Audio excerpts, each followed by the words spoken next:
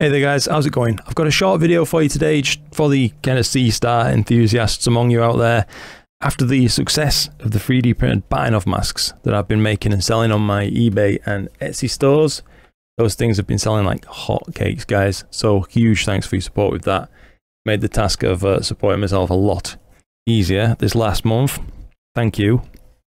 I've had a lot of people asking me the question, can I come up with something to safely hold a filter in place? And the answer is yes, after very, very, very much time spent uh, prototyping, throwing away lots of different designs, uh, I've come up with one that I am finally happy with. I think it's a good product, even if I do say so myself. It's not going to end up just in the bin in a week's time. It should last and it should protect your filter. Ultimately, it's a two-part clamping design with thumb screws and it should be completely non-marring to your filters or the Seestar itself. It is just a friction fit. As you can see, once your uh, filter's in place, the whole thing just clamps into the Seestar by push fitting. Um, and it works well. You know what I mean? It's just, as you can see, I'll just take it apart for you. I'll probably run a video alongside this, but pair of thumb screws. And there you go, it's a two-part system. A filter arrestor to actually hold your filter. And then a sliding faceplate to take multiple sizes filters, you know, because they're not actually all exactly truly the same size and thickness. So this should fit just about anything. As you can see, your filter's held safely inside. And you just clamp down with the thumb screws. Uh, everything's held in place and uh, snuggled nicely in there should be, uh, should be good and safe. Now, I say should be good and safe. I just want to clarify, you know, this is an experimental part kind of thing. Uh, I'm going to be making them available for sale at as reasonable a cost as I possibly can manage, given the printing time of these things. Um, it takes up quite a lot of actual machine time. But anyway, that aside, um, they are, you know, use at your own risk. I understand people want to use these things.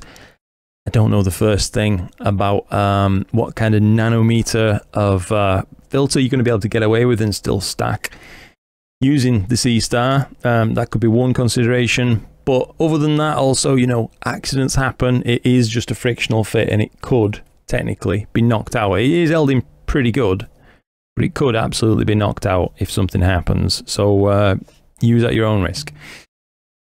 I just want to say, by the way, as well, uh, obviously a huge thanks to everybody who's been purchasing my 3D printed goods. It really massively helps to keep me afloat every month, to be honest. Um, alongside all the, you know, the YouTube and Patreon support and that kind of thing.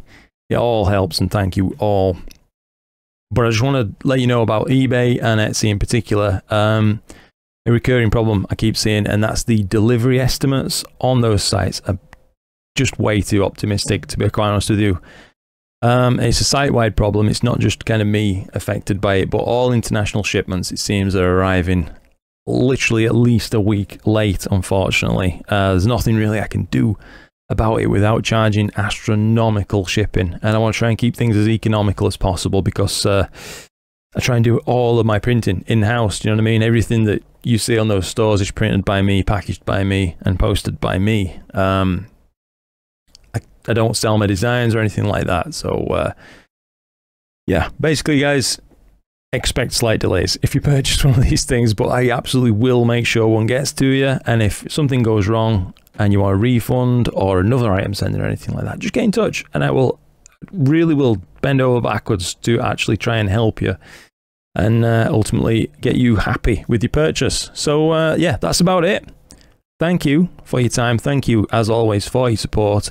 I just want to let you know that I've got tons more videos planned I'm just held up by the weather. I don't want to put out kind of half baked content anymore, really. I want to just make better videos uh, that are more worthy of your time because I respect your time and that's all there is to it. So, yeah, look after yourselves.